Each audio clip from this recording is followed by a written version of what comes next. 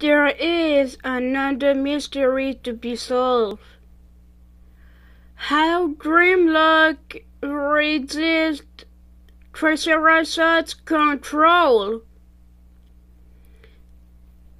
Not on, well, the, the answer is not only they're both Dinobots, but uh, Grimlock actually heard Tricerashot's voice in his hand.